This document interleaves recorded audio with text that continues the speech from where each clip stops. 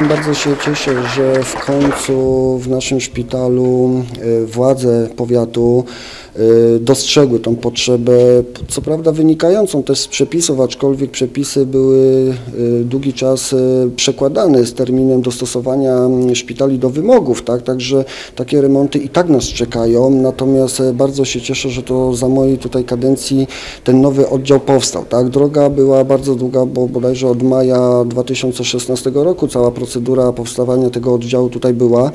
Y, Było bardzo dużo uciążliwości, y, hałasu, y, jeżeli chodzi o inne oddziały prosperujące w tym skrzydle na, na górze, ale no, wszyscy daliśmy radę przede wszystkim to wytrzymać. Dzisiaj się możemy cieszyć naprawdę zupełnie innymi warunkami.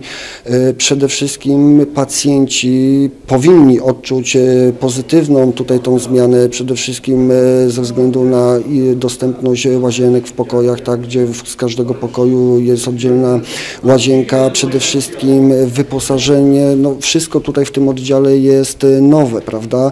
Są oddzielne sale y, do y, spotkań z rodzinami, tak, także nie będzie trzeba przesiadywać na sali.